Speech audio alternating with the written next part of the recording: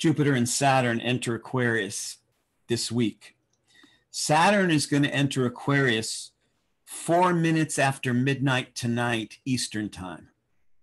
So um, that's really soon because right now it's around 2.30 so that's like less than eight no it's like 10 hours that's like less than 10 hours from now um, and then um, jupiter is going to enter aquarius saturday just two days later around 8 a.m eastern time um, saturn has been in capricorn for the last three years and it's entering aquarius um, it's going to spend um, a couple years there. And Jupiter is entering Aquarius, going to spend a year there. Okay, so this is a powerful shift from Capricorn to Aquarius because for the last three years, Saturn in Capricorn has been requesting two things from us more than any other, which is that we get real with the way that we use power and that we get real with the way that we use time. It turns out if you go deep enough into either one, you actually end up with the other. Because the way we use time is a strong um, connection to the way we use power. If we let time dominate us, we're giving away power. and the way that we use power turns out to have a lot to do with the way we use time because because time is the universe's way of synchronizing uh, with your own soul nature with your living beingness now in the modern world it might be hard for you to think of that as time because that's not the way society deals with time Time is the universe's way of finding you and synchronizing with you. Modern time is a scientific um, regimentation of very natural movements and flows that time has to it, all presented in like the idea of a marching band.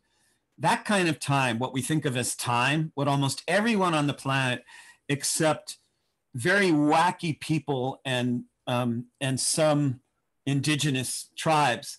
The way that, way that time gets used right now is as a um, a slave driver. We think it's actually real. We think it's actually real. That like being 37 is um, much different than being 12. And so what happens is time dominates the space and when we're a victim of it, we're not in our true power. So when the ancient astrologers linked power and time to Capricorn, they, they were sending messages that the last three years has been knocking on our door over and over. Get real with how you use time, get real with power, get real with time, get real with power. And that's been quite a, an initiatory summons and demand. Um, and we've seen a lot of outbreaks of false power, though we don't usually relate them to false time. We, we rarely think to say um, somebody is out of power because the, the way that they're dealing with time. So we get that Capricornian um, mystical uh, um, X ray vision when we look through power into time this period where Saturn's been asking that of us is drawing to a close because Saturn's about to enter Aquarius for the next couple years. So, however well you really did with getting real with power and time, um, that's the level that you're going to bring in towards Saturn and Aquarius. You don't, you, only have a few more hours to deal with that one.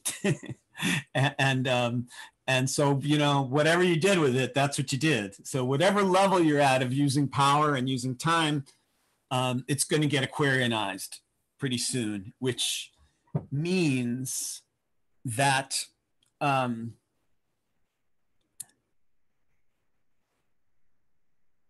regardless of the way that you're dealing with power and time or any of the other things of your body and your um, and your human nature um, you are now going to be recruited into the galactic space corps and the galactic space corps is um, is busy um, skimming through the higher regions of human consciousness.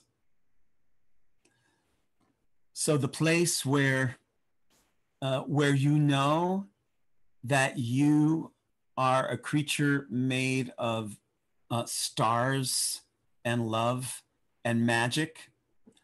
The higher regions of collective consciousness is where the Galactic Space corps has been skimming around.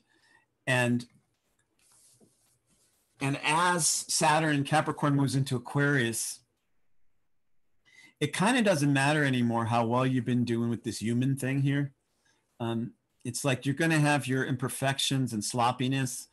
You know, you're, you're gonna you're gonna be like every other human being, imperfect, and and regardless of that, you're getting recruited into the corps who um, who realizes that there's this frothy Aquarian mist.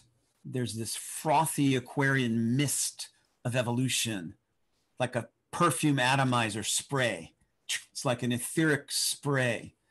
And, and this the Aquarian spray is frothy. It's it's because it's the it's the edge of an evolutionary wave.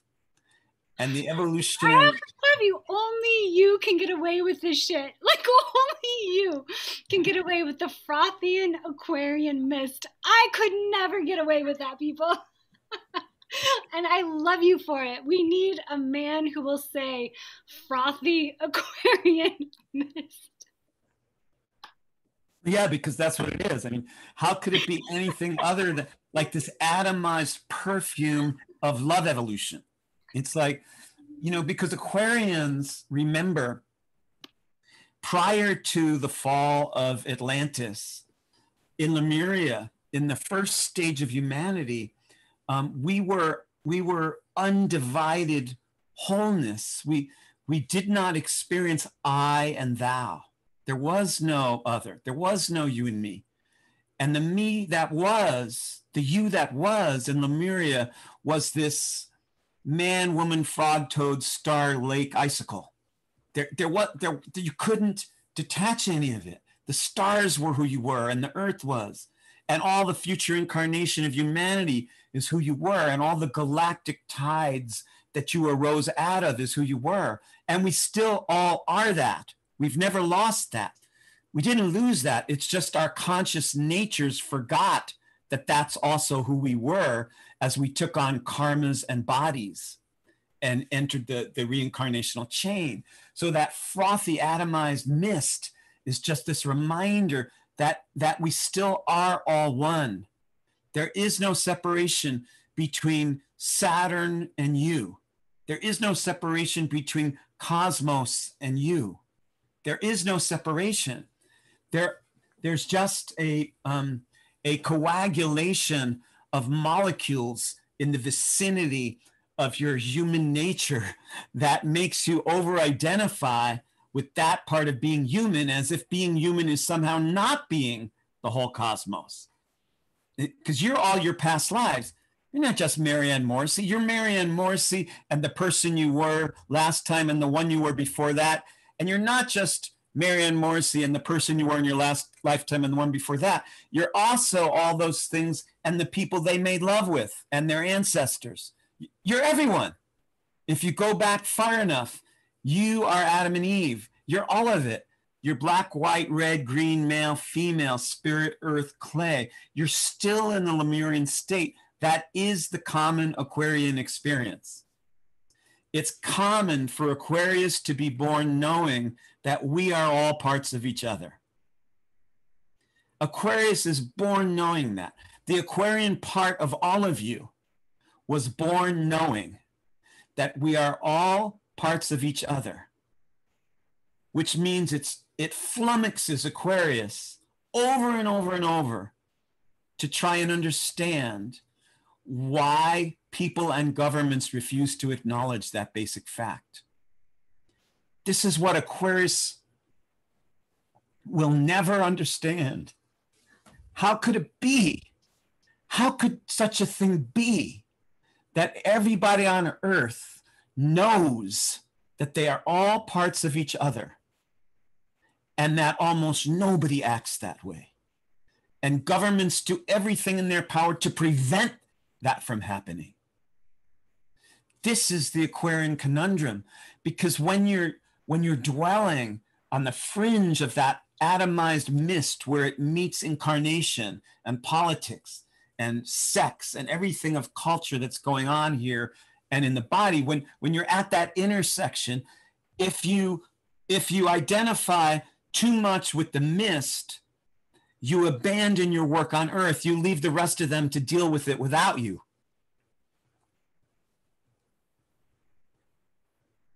and that's like abandoning angels but if you get too caught in the incarnational pull of gravity, that you enter the human karmic gumbo to the point where it starts it starts hurting your body, then that's too far in. So this Aquarian balancing act, this this performance piece goes on as a lifelong initiation. How much of the mist do you dwell within and ah, ah, Oh my God, Hawaii, the sea, foam, ah, evolution. Oh my God, the 1960s, John Lennon music. Oh my God, ah, ooh, ah, orgasm. And how much of that do you come down from in order to be more of service to the karmic boneyards and the fields and of evolution? It's this Aquarian back and forth motion. Because you if you stay too far up and away it, it fills you. It glorifies you but you have this sense that you're not doing your work. And if you come too far down you have a strong sense that you're doing your work but it's hard to know where help is going to ever come from because it, humanity is so fucking dense and resistant. And so there's this aquarian um, angelic arc. It's like from from the atomized mist into incarnation and to the atomized mist and into incarnation. And it's like back and forth like a spider like the great spider just weaving this web so that you bring the inklings and the knowings of the higher regions down into the boneyards and the blood fields of everything that's happening down here but you don't get so caught in it and lost in it that you confuse that with the fullness of your true nature. Even while you're attending the boneyards, you're, um, you're, you're uh, floating through paradise. It's not, you don't do, have to do one at the expense of the other. After you've paid a visit to enough of the um, different axes, enough to uh, claim your citizenship in, in two worlds so that you belong fully to spirit. That is your land. And you belong entirely to earth. And you're never going to get out of that, even if you die. And when, when Aquarius becomes that at home and belonging to both sides, that's when it happens. That's when you become this vessel that cannot be um, dismissed that vessel of Aquarian selfhood, that you're that jug of carrying the healing elixir that we are all parts of each other. Aquarius is born knowing we are all parts of each other, is confounded by people in governments don't acknowledge that. And, and, and when all of that becomes this initiation where you you claim your belonging absolutely fully to the free range of spirit and that atomized mist is how you come down from spirit into the fields of incarnation. But you do not get trapped on either side. You gain freedom and fluency. You speak two languages. You're a citizen of both lands. Neither one has an entire hold on you by itself. You belong to both of it, and you belong to this third thing that is the art that you're performing in learning how to navigate the two extremes.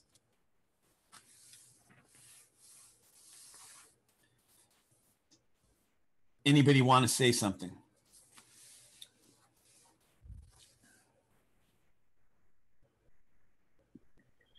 I'm I'll begin from the Aquarian ray. Oh, go ahead, Marianne, please. Well, just a quick thing. Um, my my Chiron is in Aquarius at my midheaven. so I'm, I'm, feeling like um, this is quite the initiation here and quite the healing. ah, well, thank you for acknowledging the mystic initiatory side of the teaching. Thank you.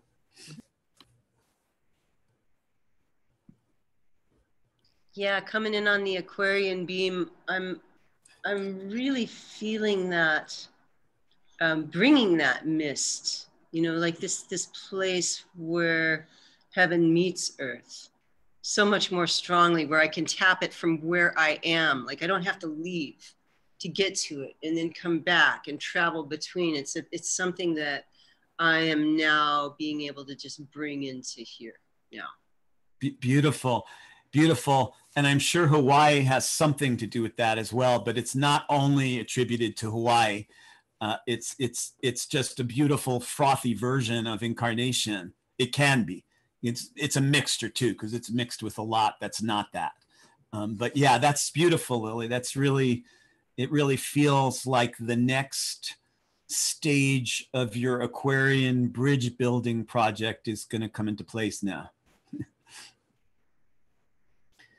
Because Aquarians, Aquarius is the bridge builder, and and you can't build a bridge without thoroughly investigating the territories on both sides of the gap. So you you have to uh, you, you have to spend extensive visits in the land of spirit where, uh, where you uh, dream walk, you know, where you connect with those other forces, the spirit forces, the other dimensions, where you're still connecting with them, even when you're focused on the here and now. Even if you were driving a car, you're still doing that with them there. And when you're Aquarius, you're the most multidimensional of all. And so, so what happens is is that as you bring the part of yourself down here that um, that can get absolutely involved with everything, but from a viewpoint of freedom and magic and understanding, you know, that uh, without getting trapped there, and you you grant yourself the dual citizenship. So um, it's just it's it's beautiful to witness, just to witness the art. I just want to weave in here too that the the how of what you're describing or the process that you're describing of being these dual citizens that are bridging these pieces feels so coherent in a way in that sometimes the experience can feel so lost when you haven't fully in- anchored in either one or you're just anchored in one and you're longing for the other and and so the way you're conjuring it i feel like it actually has implications to it that are much greater than even how it's working within us because then it's also showing us how we do that with all of the other parts of ourselves and the elemental beings and the invisible ones and the worlds within the worlds. So what an incredible opportunity to to really surrender to that process of how we actually bridge within. Yes yeah exactly. And and that's that's that the that's the aquarian multidimensional grid. And and so and so even while you're here attending this class in that body at that spot at this time that's not all you are. You're you're also you're your your holospheric um, nature is way way bigger and broader and multidimensional and multidimensional in time so while you're sitting there you are doing something in a past life you're doing many things in many past lives that's not the, that's not the only thing isabel is doing is sitting there with her thumbs together and the guitar behind her It's that Isabel is sitting there with her thumbs together and the guitar behind her. And in some earlier life, she's giving birth or making love or dying. And, and, and at the same time, your consciousness isn't restricted to the local area of your body. So even while you're sitting here in this class, you're communicating in a council of wise spirit beings that are your, your allies, your bright sky team that help you bring down these evolutionary surges and impulses at times like this, especially now, right down into the anchor point, you know, which is the the Aquarian lightning rod, so that that higher celestial force can come all the way down into the ground of of of common um, human experience where it's most needed. It's the masses that need to awaken in the time of Aquarius. It's it's mass consciousness, and and and so what we're going through here is this um, incredible reminder, this, this galactic reminder that, that you are so much more than your, um, your normal human personality could ever imagine. You are so much more.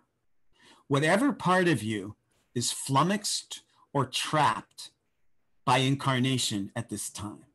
In any way, whatever part of you is flummoxed or trapped by incarnation right now, in any way, politically, Trump, physiologically, health in your body, the fate of the human race and your immediate environment, the destruction of Earth's environment, and anything that is plaguing you and hounding you right now in your incarnational body is something you agreed to be alive through because of its initiatory value.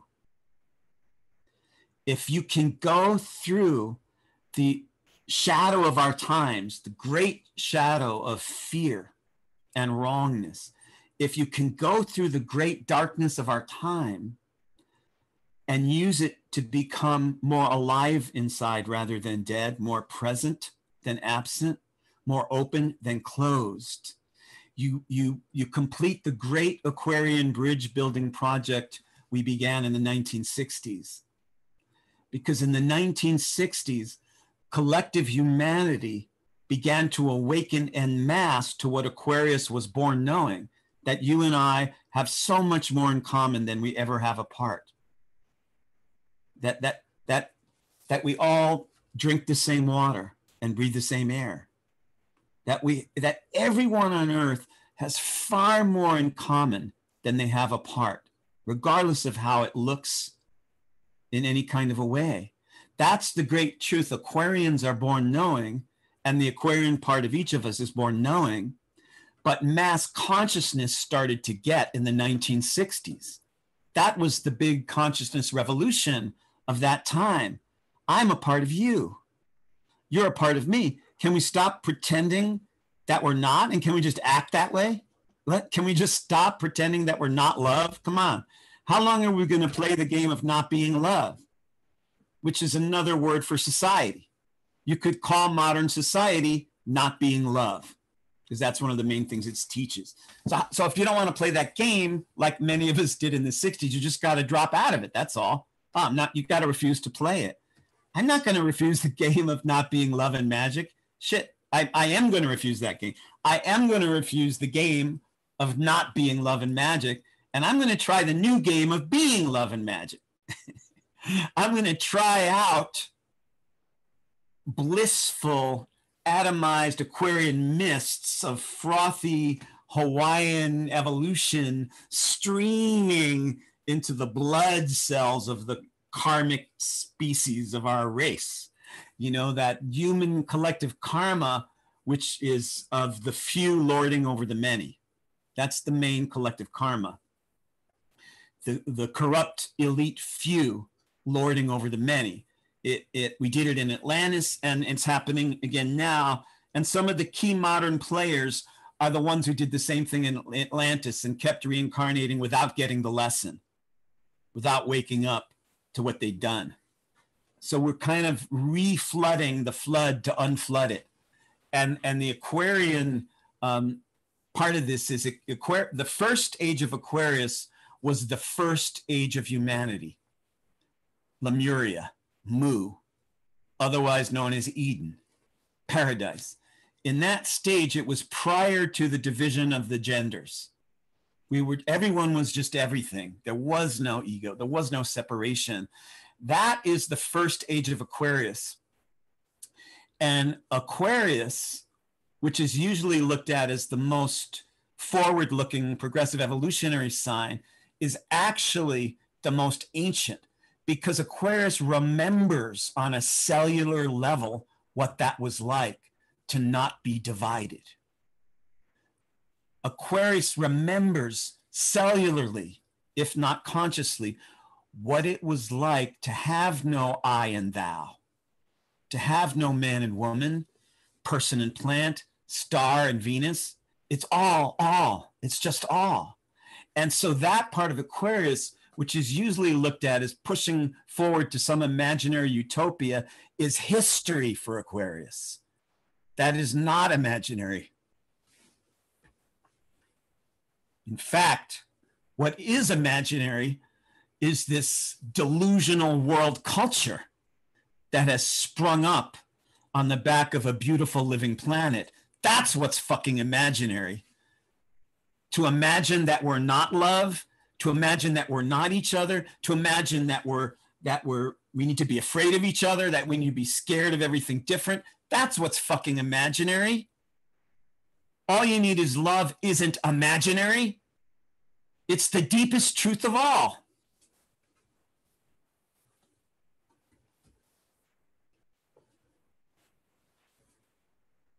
So at this time, with Jupiter and Saturn entering Aquarius, the tension of opposites is how we build the bridge. The tension. Because a Democrat is a Republican, is a Democrat, is a Republican, is a Democrat, is a Republican. A Jew is an Arab, is a Jew, is an Arab, is a Jew, is an Arab. A man is a woman, is a man, is a woman. A gay is a straight, is a gay, is a straight. Everyone is each other. There is no separation. There are no intrinsic differences when you stop pretending in any kind of way that there are, and when you stop supporting a world culture that constantly drums in that message, you bring on the age of Aquarius and you build the bridge. You join the bridge builders rather than the polaric dividers. You holify yourself, which means everything you think about and touch and do has more wholeness in it because you're streaming it through the Aquarian vessel. Aquarius is a jug of a, an imperfect personality carrying the healing elixir of our togetherness. That's the Aquarian jug. It sloshes around and it spills.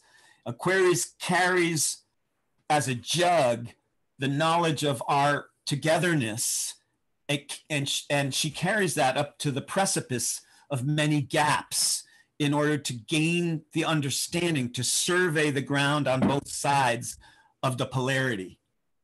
And, and, and once doing that, lays her body down across the gap and leaves that part of her there, even while she goes about her work shapeshifting in the multidimensional universe of her nature.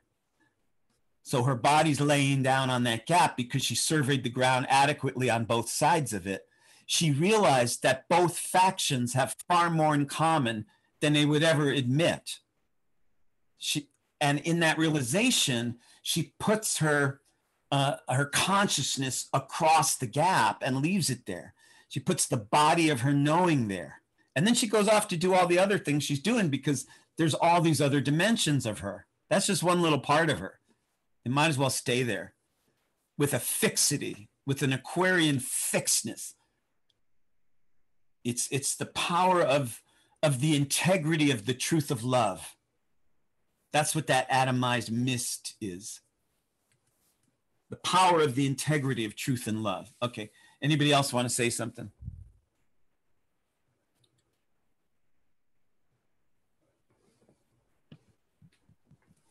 Uh, I got a little something there.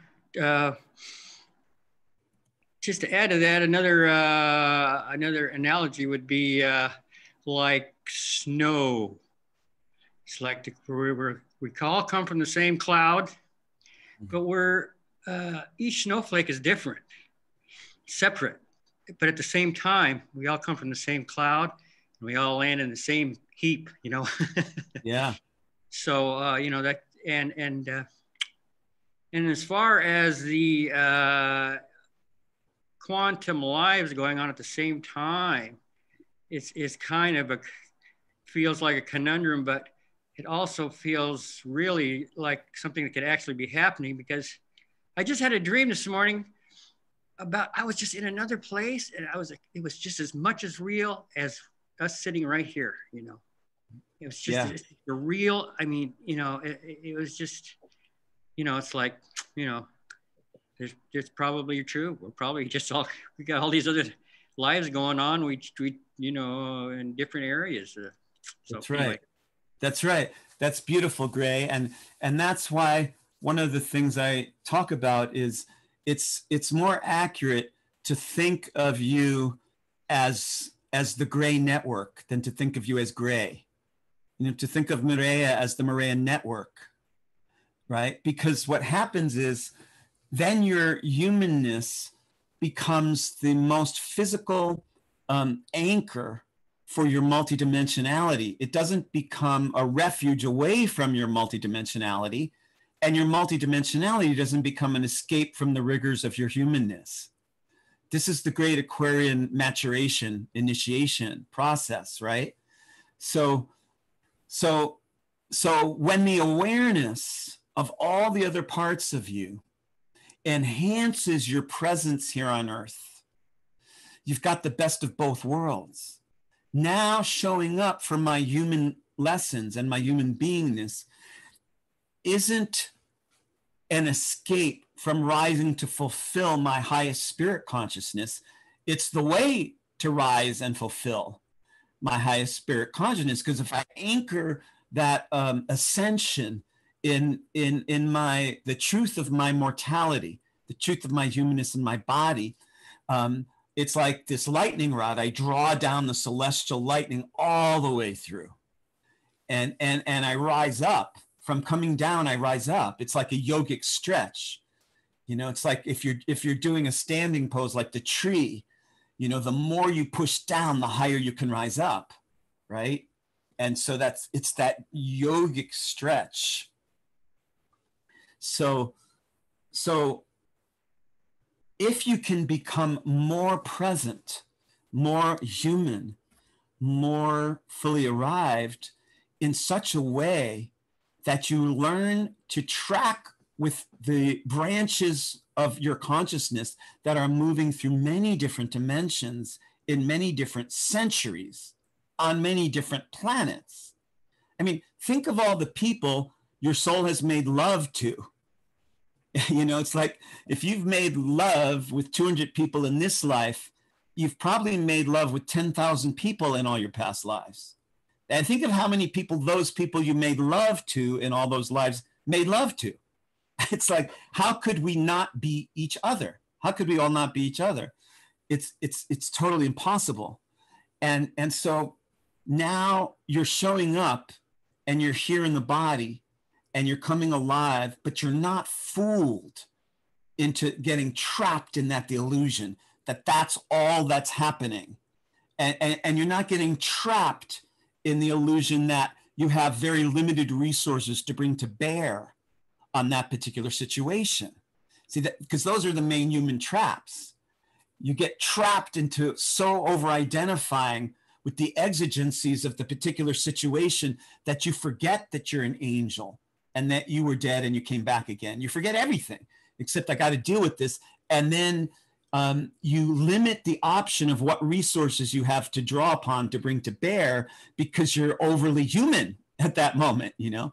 And, and, and so when the next exigency comes up, like, you know, what we're seeing all around the world right now, every living moment, fear, lies, paranoia, destruction, when those all come up and they're all going on right now in the whole biosphere, and you show up for them, instead of running away from them, and you enter into them, realizing you have about 10,000 more times of magic than you would ever need to deal with whatever's happening down there on Earth. Oh my God.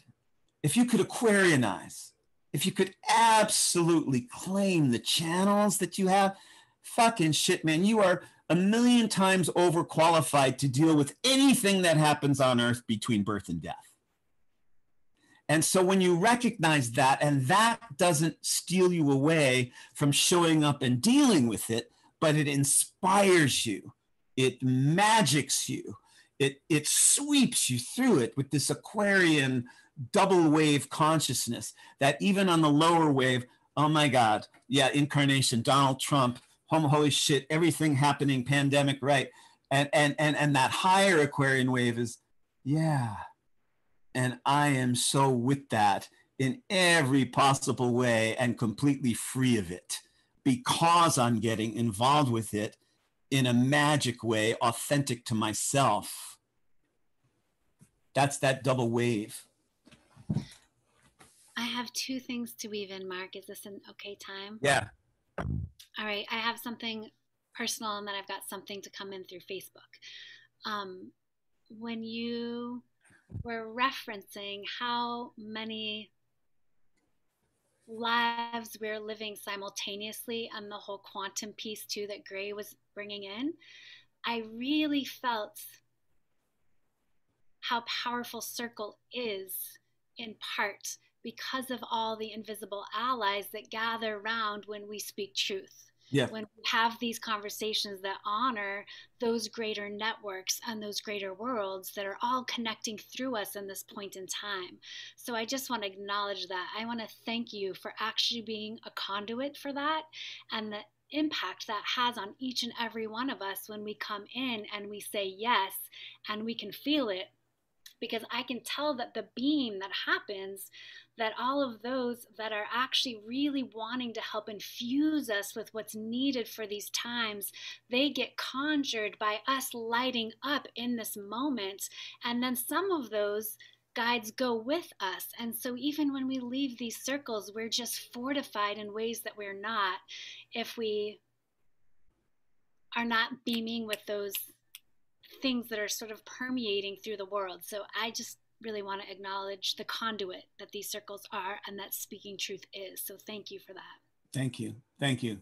You're welcome. Yeah. Yeah, we we light up like Christmas candles. We we light up. We we light up and that sends flares through the collective fog. You know, when you when you light up, like this time of year, like a Christmas candle, like a solstice wreath. You know, when you light up with that, with that recognition, oh, this is just something I'm going through. This is just incarnation. Oh yeah, I was starting to forget that Mark Borax life in 2020. I, w- I was I was getting a little lost there in my galactic roamings, and I was I and I was forgetting. Oh yeah, there's that Mark Borax dude who's the current physical host of your soul, right? There's that Mark Borax vessel. I better go back and pay some attention to that dude because you know because he's because he's carrying it. You know, he's not the thing itself. He's just the Aquarian vessel. He's not the truth. He's just he's just a messenger. And and if he can clear his own nature sufficiently, then all of that galactic support that wants to come through will just come streaming through because because that's how existence works. I- existence has elegance, meaning the the fewest operations produce the greatest positive result. And There's an elegance to the universe. It wants to work as easily as possible, where the, the slightest effort produces the greatest positive result. Uh, you, you're a human being and you're a part of the universe, so that means that that's the way that you want to work. The way humanity wants to work is that the slightest effort produces the greatest positive results. That, that's how all things want to work. And so they don't always work that way because things go out of orbit and resistances occur.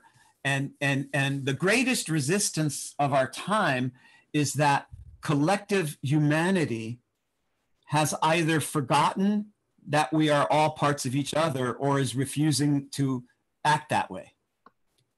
it really it doesn't really matter that much which one it is regardless of whether collective humanity has forgotten that or it knows it but has chosen not to do it that's the resistance that once we remember once you remember that you are a free multidimensional being moving through many time streams in many bodies in many ways and and that and that you're living during a time of tremendous death and birth tremendous death and birth.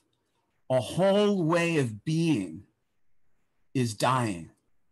And and and we started to feel that and we started to know that in the 1960s a whole way of being is dying in many of those songs in the music of that era, you can hear people singing and addressing the dying and the living, what's going out, what's coming in. And, and so that, that awakening that we are all parts of each other and we're made of love and we're these magical beings, when, when the knowing of that is something that's no longer debatable, but just is, um, you make it through the initiation and and then you ground that knowledge of oneness into your actions and your intentions and your friendships. The aquarian collective. It's it's much easier for an aquarian to identify with the whole than with the self. This is why aquarian selfhood is much different. Um, all the other signs except for pisces it, it's way it's it's it's way easier for all the other signs to identify first with themselves and second with everything with the universe. For aquarius it's opposite. It's it's hard for aquarius to believe in the realness of her own identity. It's hard for her to really pay a whole lot of attention in, to the way she's being. It's kind of like oh that's just the human thing. God haven't we gotten past that yet you know? And so it takes this this kind of funny backwards initiation to to find a way to believe sufficiently enough in everything in the perfection of the grand design first then to be able to believe in the self because you're part of that design. In, until aquarius and until the aquarian age gets it that we are all from love and magic. We are all united. The whole universe is together. There is no separation except in the mind of humanity Outside of the mind of humanity, there is no separation. And even the mind of humanity just imagines that there's separation. And once we get that, then, um, then the knowledge of that wholeness enables Aquarius to strengthen her vessel of selfhood and believe in it enough as the as the imperfect deliverer of a perfect message of love the cracked vessel is still a vessel.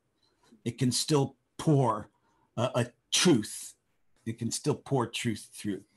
Okay, anybody else got something to say? Let me weave in this piece from Facebook. Oh yes, sorry. No, that's okay. So this is from Frankie, um, who's been in our circles before, and um, she was. I kind of rephrased it because it was I, hard to say it exact um, she was wanting you to speak about the 20 year cycle and, of Saturn and Pluto, but I think she may have meant Saturn and Jupiter. I'm not sure because I know that Saturn. Yeah, yeah, that's what she meant. Cycle, um, yeah. and how those 20 year cycles create a 40 year cycle that's sort of activating the mastery of the way showers and how that's helping the mass consciousness come into this energy field that you're describing here. Yeah, I think I don't know that I can do that consciously because that's a tall order. That's a good class there. It's not just a one minute response, but but I can I can suggest trying to do that musically, because in the 1960s, um, we we had these message songs of people waking up, waking up, waking up. In the 1980s, there was a whole different range of music, which which you're a lot better of addressing than I am because you know I tuned out of um, I tuned out of pop radio music uh, in the mid in the late 1970s. You know, I didn't I didn't track with with 80s and 90s music like that, and so you can just kind of see that that each conjunction of Jupiter and Saturn is where the past and the future meet in the same place to gain the lessons of what's happened before and to launch the initiative of a new thing that wants to happen, which you can trace um, based on the signs that they're that they're conjuncting in.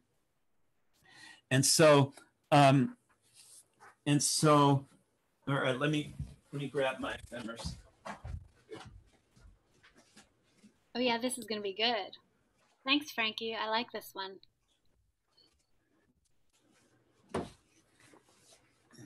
So, so I forget where where Jupiter and Saturn conjoined in the 60s. That's what I'm looking up. Be interesting to see where they conjoin in 2040 as well. That's Libra. That's gonna be Libra. Yeah. Cool. Wow. So yeah, where did they where did they do this?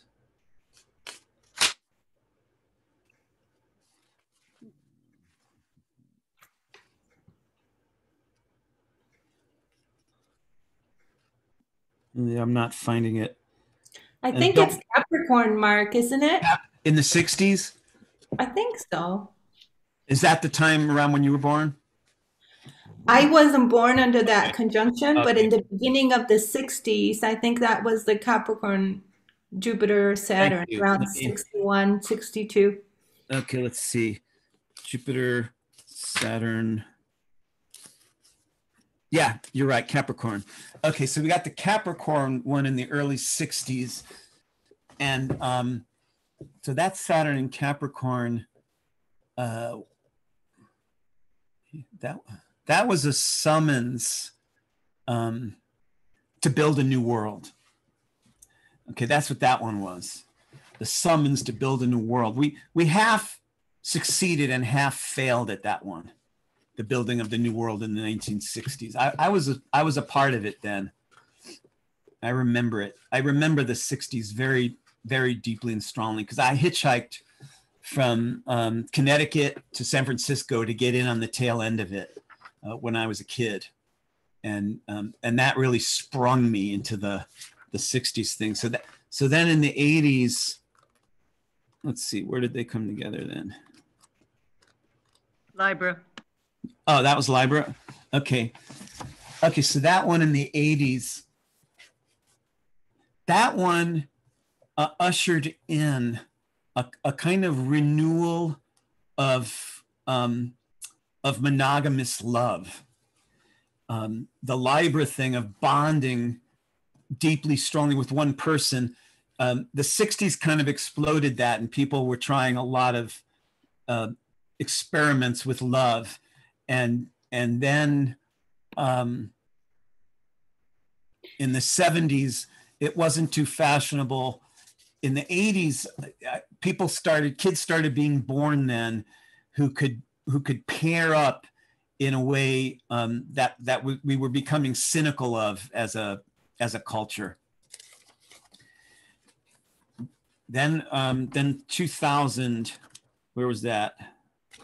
In the 2000s road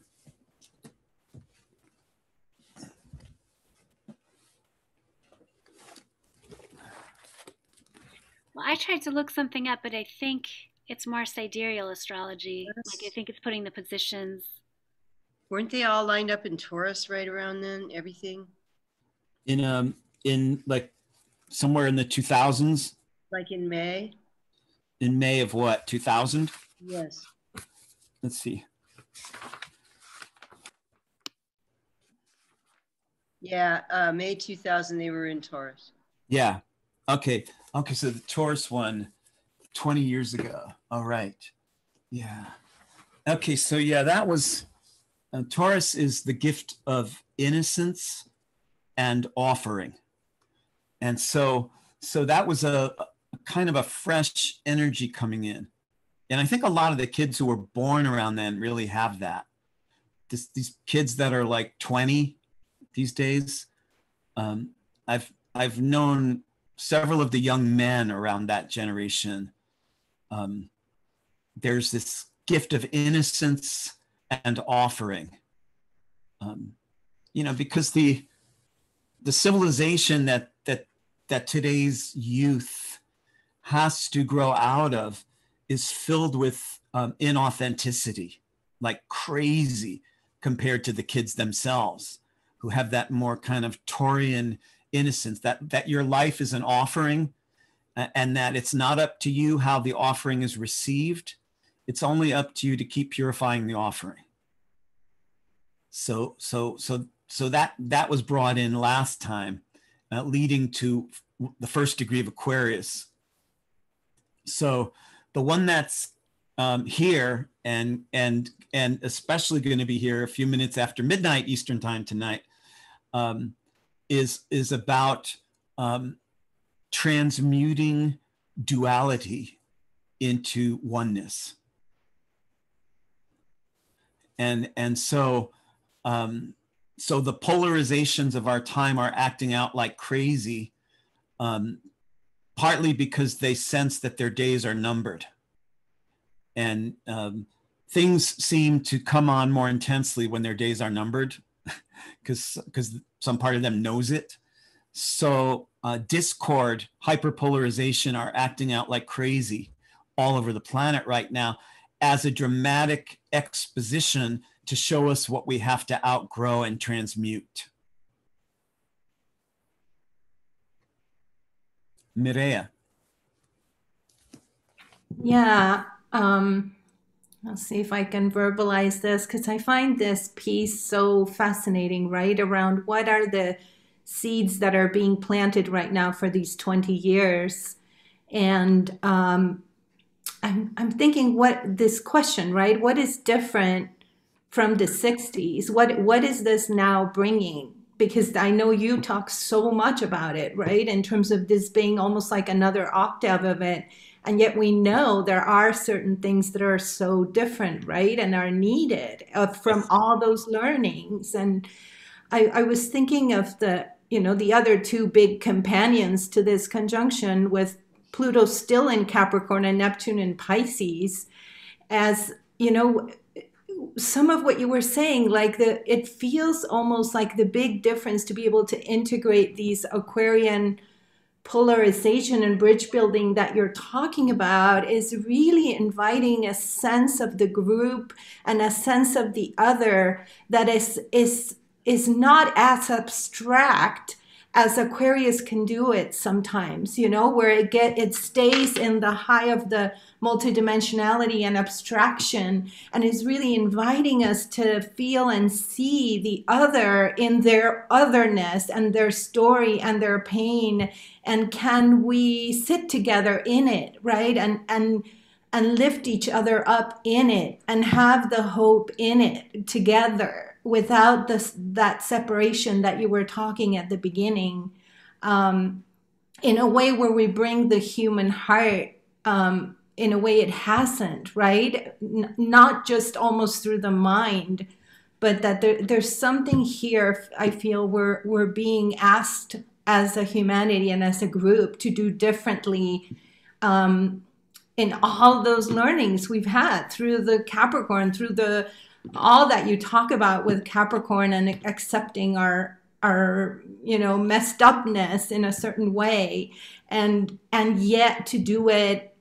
knowing that right there's another person next to me that is dying of covid at the same time or is you know celebrating whatever else or like there's just perhaps you have better words than me but there, there's something there that i feel feels so unique about how, the how of how we need to do it in these next 20 years so we can really bring the integration um, that is that these two are asking the the jupiter and saturn. Yes yes. Thank you. Thank you for that. That um that has a few different threads in it uh, that i won't be able to respond to all of them but i want to respond to a couple of them. Um, which is how is the transformation that we are being summoned into of our time different from the one in the 60s? And I want to start by addressing that one because um, it's it's very powerful. One thing is that um, uh, Pluto in Capricorn, Neptune in Pisces, and Jupiter, Saturn in Aquarius, those are the three wisdom signs, the winter signs. Capricorn begins the three wisdom wintry signs. Aquarius carries the torch over to Pisces. And so we're, we're having powerful, dominant outer planets and and and wisdom planets all in the wisdom signs. And what we lacked in the 60s was wisdom. We lacked the wisdom of our experience. What we had in the 60s was the innermost knowing that what is going on is wrong and we have to break out of it we were absolute with that one but we we disagreed on ways how to do that. And we underestimated what it was going to take to carry that revolution throughout the whole world.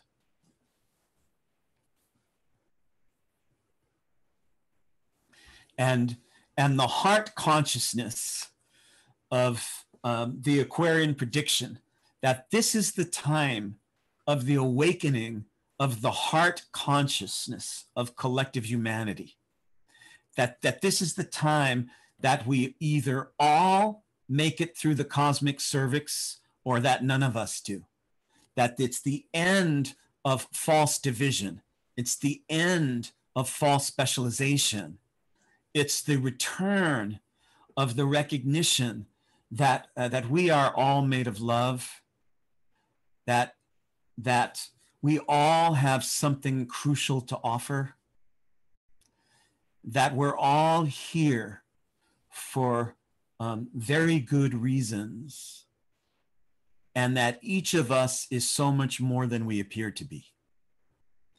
And when, when the heart consciousness that exploded in the 1960s meets the wisdom of what we've learned since then and how, like like John Lennon was correct. All you need is love. He just had no idea. None of us had any idea what it was going to take to live that. And he said it, but he never got to live it fully because he was cut down.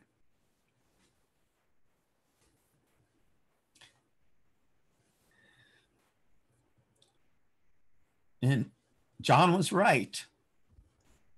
All you need is love, but you have to anchor it deep in body and soul and trust it and not let it close your eyes to any of the um, to any of the work that you're doing down here on earth which is always different in each of our cases. So, so, so the main way that the transformation of the 60s, Mireya, differs from the one now is the wisdom element indicated by all those higher planets in the three wisdom signs.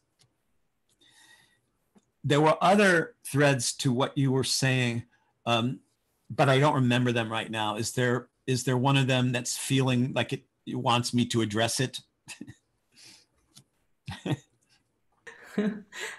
Um, it's good. I don't remember. All is good. All is good. Thank you. Thank you. I, I also feel moved to to also just acknowledge that it does feel like culturally we are so much more aware than we were in some ways in the 60s of holding a greater picture. And so while it makes sense and it serves for us to have our own stories, right, of how awakening is happening. It's like John Lennon had his message, and so did Freddie Hampton, you know, who started the Rainbow Coalition and who also was killed. So, so many of our people that were making a stand for the future that hopefully we are crossing into, they were taken out, right? So, and there's so many orientations towards this larger story right that we're all being a part of. And i hope that part of the wisdom that's carrying us forward is helping us to be able to weave our stories with all of the other stories that makes them so much stronger and so much more powerful together when we know that not it, it's true. We're not getting through that cervix alone. It's either everyone is going or no one is going. So how do we keep lifting up all of the stories of change and liberation and possibility for all peoples that have occurred through so many different lenses and so many different stories so we can actually feel our ancestors past and future really conjuring us like conjuring us forward. It's just yeah. Yeah. Yeah and that's part of the the aquarian um, miracle. It's it's that it's that you're you are backed up by, uh, by long lines of forebears, progenitors, um, karmic relatives who, who you're not blood related to in this life, but you're karmically related to from past lives. You, you're, and in fact, um, cancer, one of the most beautiful gifts I got from Elias Lonsdale was, was that uh, the sign of cancer contains a, a reservoir of all the good things that anybody ever did. And uh, what a just what a beautiful reservoir because we're always hearing about the opposite, like the perpetuation of negative cycles, you know. And here's the opposite of that that that every good thing that any human being ever did since the dawn of the species pours into cancer and you get to drink from it. You get to you get to serve others thirst from it. You get to dip into that. It's it's bottomless. It's it's endless. It's bottomless. That that yeah so what? The world is ending but are you going to open to love? You still have a choice. You know make the worst of the worst of the worst. You know so what? Humanity is perishing and the world is ending. Do i want to love that or hate it and and and if you can do that with the worst of the worst of the worst then anything else is easier you know? And so so um it's i don't mean in a frivolous way oh yeah they're all destroying the world and and who gives a shit? That's not what i mean at all. I just mean that as a magical being you are dead you are alive you are in between dead and alive you were never either dead or alive you are absolutely existing and you never even existed. It, you're not one side of any polarity.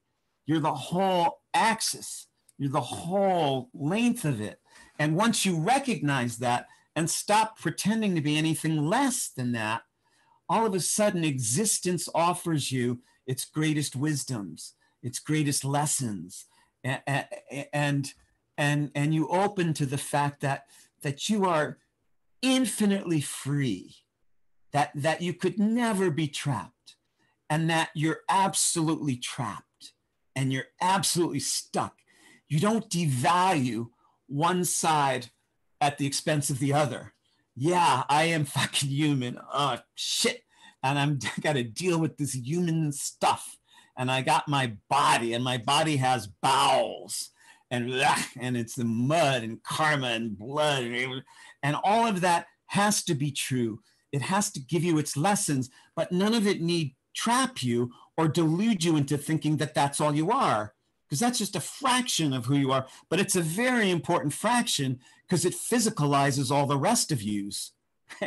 And so when you anchor in that in that humanity without getting trapped in it now you can be all the rest now, now, now it all feeds in this interactive elegance of the least amount of effort producing the greatest positive result.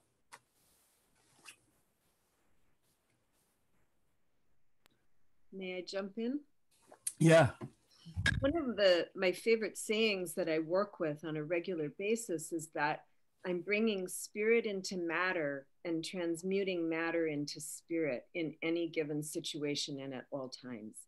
And the more I can remember that, the more the magic comes. Mm. Um, I'd also like to say that as I was probably an adolescent when the 60s were really unfolding. So I was relegated to sitting back and watching it. Wasn't really allowed to participate, you know, but I was really paying attention. And I think that in the 60s, so many seeds were planted um, in humanity and in our consciousness that I feel over these last 40 years, 40, 50, 60 years, however many it's been, um, that those are the seeds that have been germinating, sprouting, and growing and came through my children. And now my grandchildren are just these amazing beings because that consciousness was held throughout all of it. And you really see the connection. Yeah. I almost feel like my children furthered it along in the places that I couldn't quite break through at that time. My kids picked up that torch and took it to the next level. And now these little ones coming through, look out, world. It'll be one big, great love fest. I'm sure of it. beautiful, yeah. beautiful, beautifully put, Marianne. Thank and, you. Uh, and a and a sweet, sweet reminder of of how our consciousness uh, planted deep seeds that sprouted up years later and are still sprouting up. I had one thing to address Mireya's mind um, question, if that's all right. Yeah. Um, for me, the Aquarian mind that's coming through right now is not that abstract out there thing like you're talking about, or the analytic, or any of that. But for me, it's starting to come into the field of the heart and be held by the heart and be an ally to the heart and the breath. And so that when I breathe, I can direct the mind, you know, by following my breath to any part of my body or to anywhere, any element in the world that I'm connecting with, any person on any level, any place in my past or future, anywhere I can connect. I can bridge through my heart mind you know and so the the mind is being held in this much larger field and it's integrating like you were saying more into the earth it's not you know it's it's tethered more. It's not tethered it's like integrated more. Beautiful beautiful. And that conjures up uh, many images for me of the of the multidimensional aquarian grid the the network.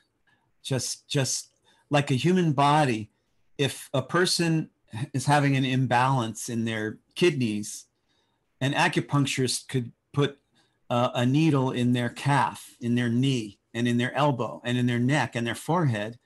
And the imbalance of the kidneys will release because the acupuncturist is choosing to address the multi grid rather than the localized kidney. And instead of assuming that the kidney is acting out purely for no reasons or for selfish reasons of its own and will medicate it back into submission, the, the acupuncturist recognizes that we are all everyone, we are all everything.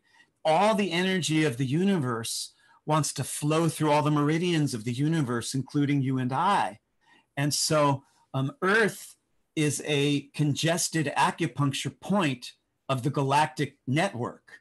Earth is a stuck point because human consciousness has grown uh, densely delusional, mainly in, in forgetting or refusing to believe that we are all made of love and that we're all part of each other. It's a stuck organ, you know, it needs to be acupunctured.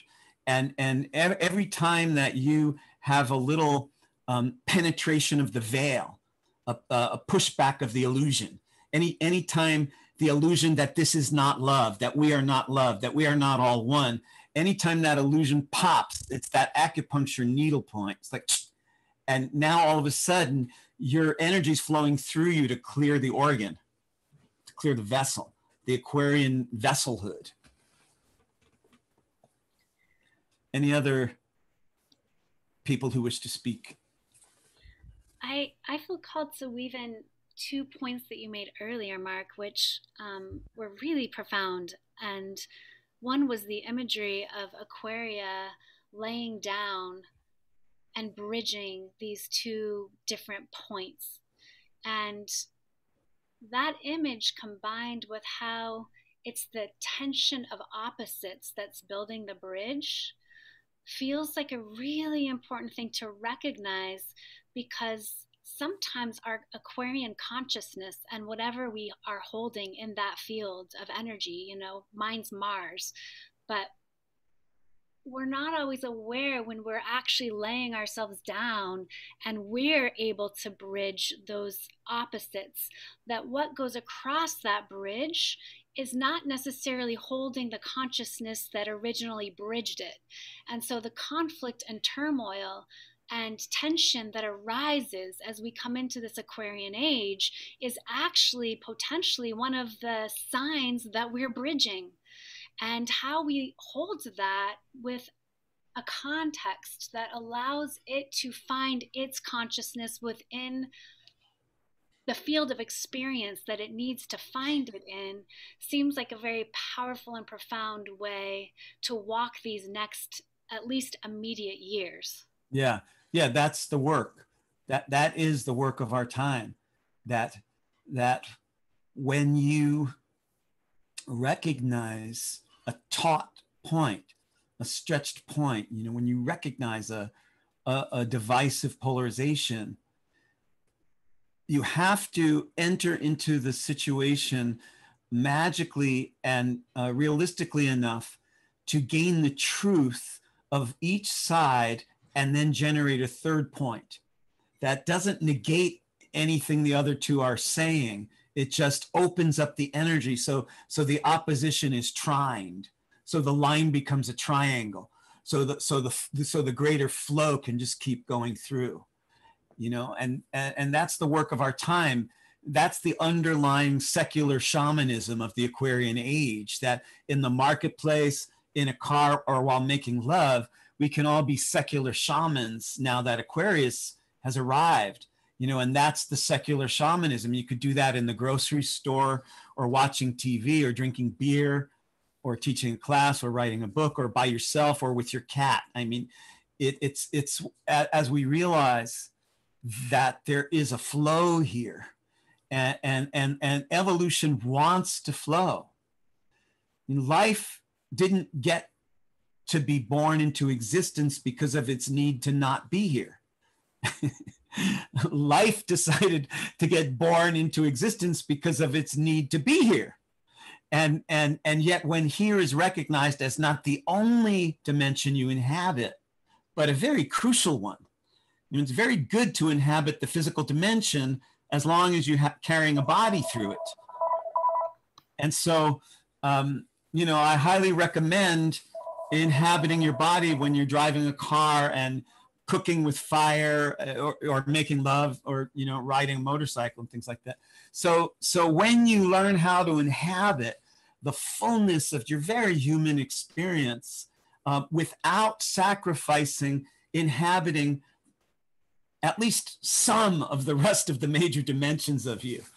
Uh, uh, then what happens is you establish, you unclear stuck acupuncture points in the grid.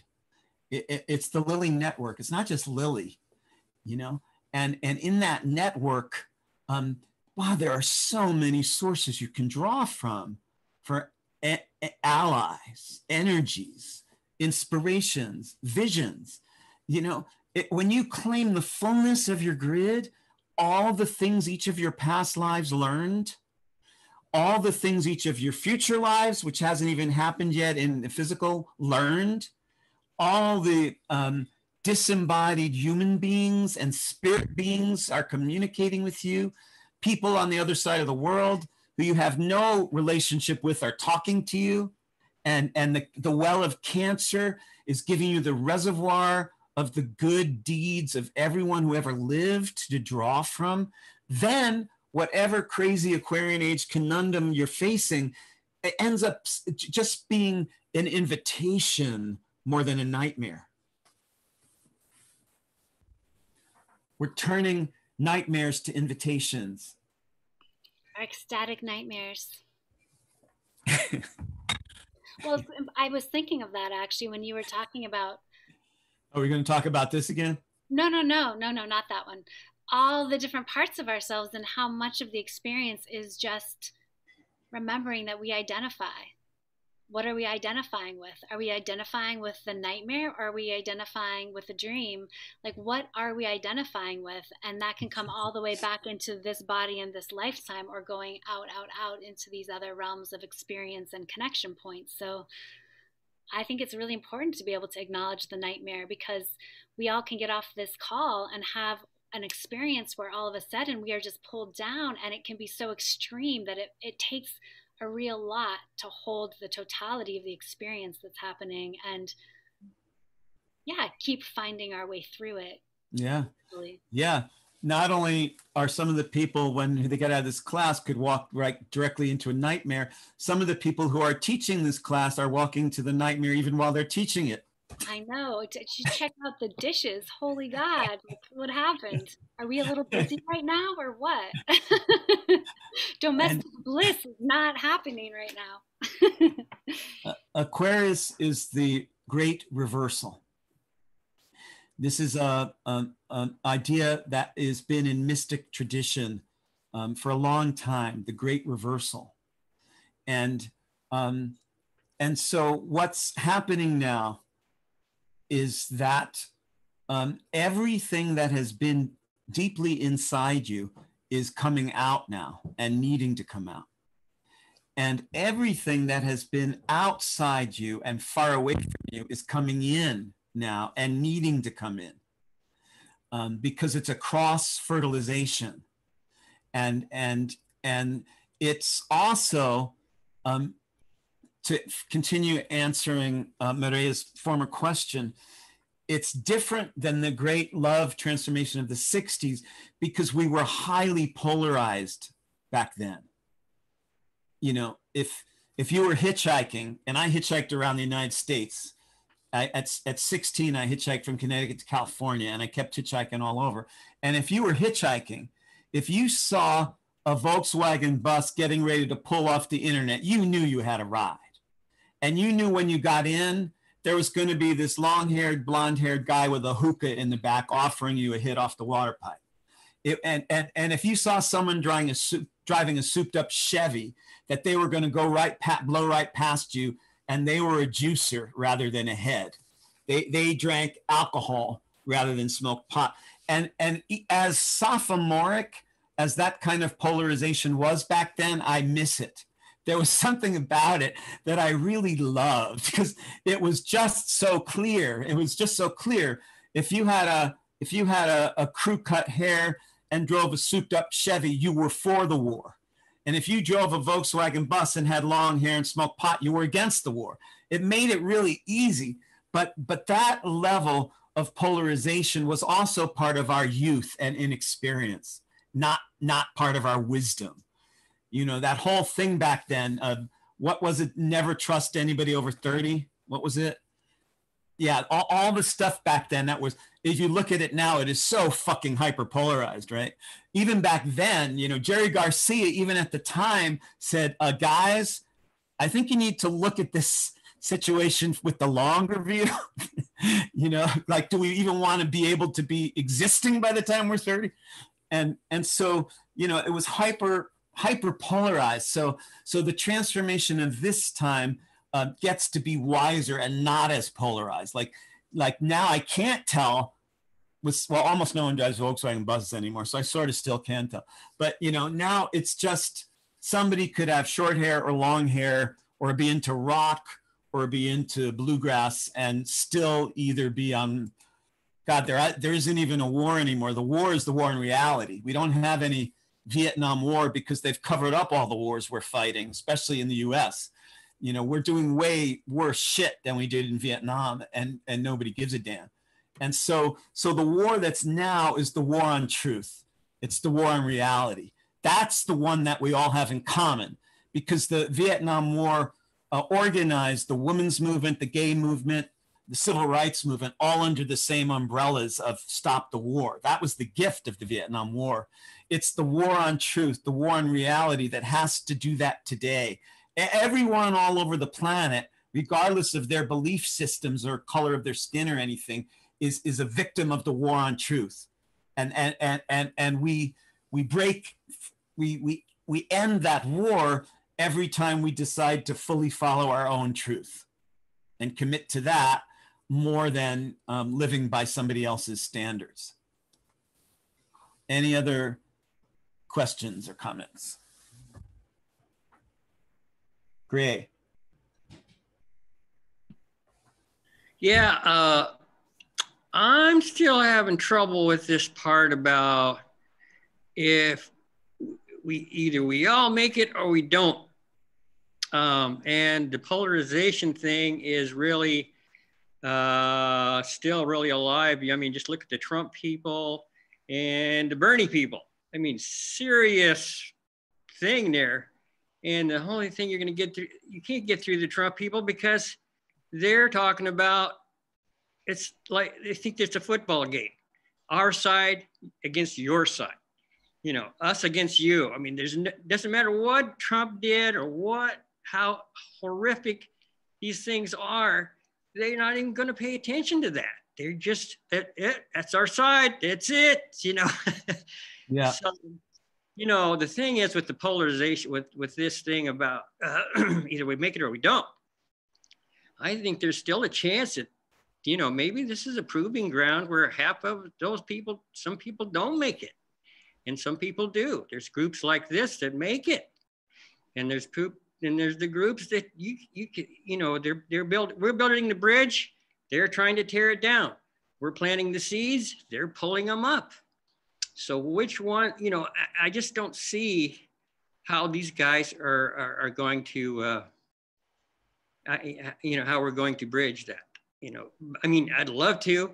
I'd you know I think that's the best thing ever. but but you know, there's that chance. I still think that there's part of there's there's that group that's not going to make it. You know. Yeah, that's a valid that that's a valid viewpoint. I I uh, I understand that viewpoint, but the answer to your question though is that how those two how you're ever going to bridge that particular great divide is to bridge it in yourself.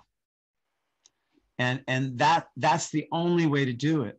So when you gaze at the apparently insurmountable gap between whatever two groups that you're looking at whichever groups you look at and you gaze at the apparently insurmountable divide between them that's a reminder that inside yourself until you find a way for those two to awaken to the oneness, then you're perpetuating the division.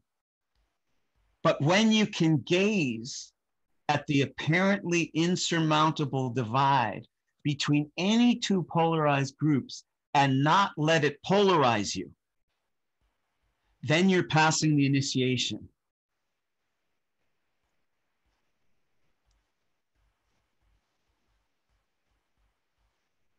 In other words, until you can find inside yourself the oneness of the link between the two of them, you're you can't ever answer that question. When looking inside yourself and you can feel it, oh, they're not that different from each other. Now the the karmic drama that that that looked so insurmountable now becomes more of a teaching lesson than a permanent state. And when you allow its lesson to open some bridge in you between where even the idea of each side of the polarity lives in you, when the electric Aquarian zap opens, so wherever the two live in you, they just whoosh into each other.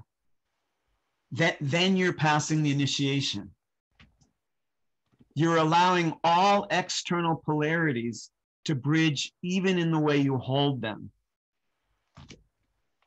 And that's all you can do. Is that going to be enough to bring about the external bridge? I don't know. But if anything is, that will.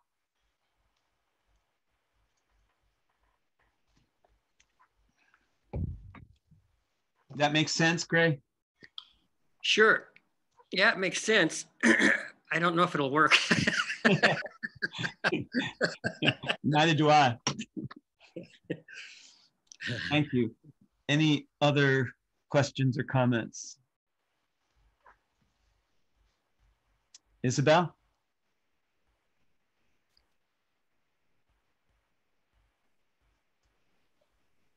Can you hear me? Yes. Yes. I wanted to say that I resonated with um, when was shared um, of this that we are all part of each other. I did this education this whole year where it was about uh, constellation work, family constellation work. And it was so amazing, like also to step into all these roles, into roles of victims, into roles of what is the opposite in English? The word of victim and the like um, the. I'm not sure what is the opposite of a victim, a perpetuator. Yes, exactly. Okay. Like and and of I don't know, bombed out people and people who um, did this, and it's uh, like uh, actually the possibility to step into all roles in a way and connect with the feelings. And there is something where I feel this is also connecting us, like when we did all this constellation work, there was so much like pain and trauma, but also the thing which is all um, which is actually the balsam for it. And it doesn't matter on which side, like for the victim or for the um, perpetrator side. It's and there is something so also so much wisdom that comes through the pain in a way like standing with this and it's on all it's on both sides always it's and i feel there is something also like to go beyond this idea of this both um, poets, like the victim or the perpetrator. Other, yeah, and yeah, I wanted to share this and also, um, yeah, this was basically. Thank you, Don Danke. Yeah. Danke. yeah, mm. thank you, Isabel. Um, beautiful to hear you speak again, and and yes, that work uh, is very sacred. That that work is very sacred when you go into um, uh, polarized truths. When you go into one side of a polarization, and you get to experience it from that point of view, and you go into an opposite side, or maybe just a different side that's not necessarily opposite. You mm-hmm. go into another side and experience the whole same thing again. But from that point of view, uh, you're you're making peace with your various past lives and subselves, the inner parts of yourself. And, and it's hard to make peace with your past lives and with your sub selves until you go into each of them and feel almost overwhelmed by their experience you know like the experience of somebody who might be opposite you and mm-hmm. and, and that's that's that's the kind of pain that heals and teaches mm-hmm. that that's powerful so thank you for bringing that into the circle mm. It's also real for me in in um, you're talking about dual citizenship or you mm-hmm. know the, the citizenships of the world. I'm i'm a multi-citizen and and it, it's kind of like you know born in africa like for the first quarter of my life lived there. And so that was you know the the colonizer. Then i go and live in england you know the imperial kind of um, culture for many years. And then i come to australia and i've been inhabit all of those and each of them is is really quite complex but you get to know them all because you've been you know right inside them participating yes. in them. Um, yeah, yeah. It makes it very rich. Um, yeah. Yeah, absolutely. And, and that's also very Aquarian, the, the cosmopolitanism of humanity, that, that, that humanity is diverse. And, and, and when you see it um, from, from the different viewpoints in a way that contributes to your compassion and your understanding for people who are very different than yourself, um, that mitigates the fear of people that are very different than yourself. And that turns around the dominant illusion that that we're supposed to fear everybody different than us. Mm-hmm. And it, it, it, it, starts to um, embrace commonality uh, more than fear of difference. Yeah. Yeah, absolutely. Yeah.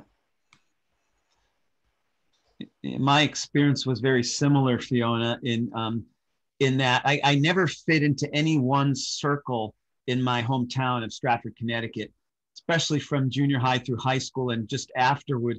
But I did deeply belong to a few of the different circles that had no other connection between each other except for me. You know, I hung out with the with the hoodlums and the the, the mafia kids because there was a lot of mafia families in my town and and and their their children were my friends and i hung out with you know the outlaws the thieves the hoodlums the people who were shooting up heroin uh, into their arm in front of me in the living room and i hung out with um, the high class kids on the hill you know and I, I i had i was part of um, i don't even know how many i was part of like 20 different circles in a like 100 mile radius of southern connecticut in those years but i couldn't ever fully belong to any of them. And i was the only one who had links between all of them. And and uh, and i think as a result of that or partly it's just because the way that i was born um, it's impossible for me to try to imagine that i am not everyone and that everyone is not me. I, I, I don't get that option in this incarnation. I can't, I can't ever imagine that, that I'm not Donald Trump. I can't ever imagine that I'm not Adolf Hitler. But I also can't ever imagine that I'm not Jesus Christ and God and Gandhi. I can't imagine that either. And so the, the greatest extremes of what anyone is capable of I have experienced inside myself in one lifetime or another. So how could I be different than anyone? I, I don't get the luxury of, of imagining that. And so I can relate to your, um, you know, you're the colonizer and the imperialists and the natives. and, you know, so beautiful. I'm going to encourage you to wrap up so that we can tell Sky whatever groceries we might need before this giant storm hits. Okay. And that's my Capricornian hurrah for using my power with time. Woohoo! well, you're using your power with my time. And hey, that's time. a little different, I think. uh, um, and uh, yeah, um, Gray, I just want to say that when you were talking, not this last time, but the one time before that, you were comparing things to snow. Do you remember what you said exactly there? Yeah, yeah. Uh, it's like you know, like you're saying, we're in the we're all part of this mist, and we're the cloud, and and then each one of us becomes different. We are separate, you know, but we're still all the same. We're still part of the same thing, but we're all very unique, and uh, as, as well. And and my part of being Pisces is always trying to maintain that uniqueness and not become everybody else's thing, you know. Yeah. Always been my struggle. So yes. There's just that main uh, on top of being uh, you know, we're all one, of course, but at the same time, we're all different. And there's a part of us that want to maintain that our own separate identity, you know uh, that because it's like snowflakes. Each snowflake is completely unique and different, and we're all falling. We're all coming down to earth. You know, basically. You know? Yeah. Thank you. Yeah. Incarnation. Mm-hmm. Um, when you first said it, it it sent the traffic song through my brain, which is uh, "Many a Mile." Do you know that song? Yeah, yeah, yeah. Yeah, it's on um, "Low Spark of High Heeled Boys." Yeah, yeah. So so, as a farewell to the solstice, I just want to sing that song to everybody.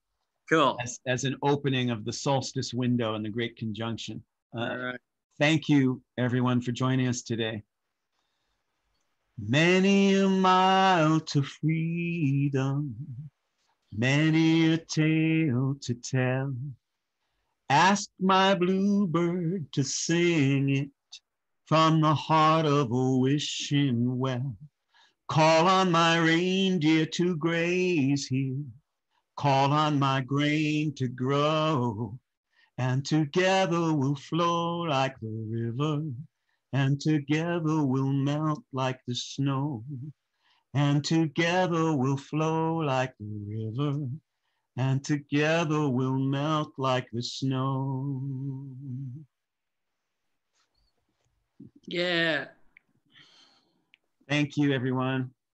Right on. Thank you so much. What beautiful sharing today. So appreciate it. Thanks for this conjuring, Mark. It was really powerful. Yeah. Thank you, everyone. Happy solstice.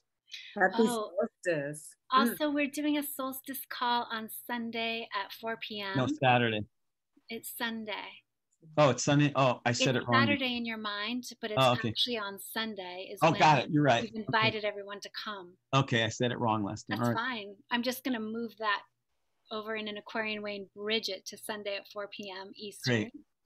Okay. So we hope you all can join us and thank you, thank you, thank you. Really, really awesome today. Thank you. Thank you. Take care, everyone. Thank you, everyone. Mm-hmm. Bye. Aloha. Bye.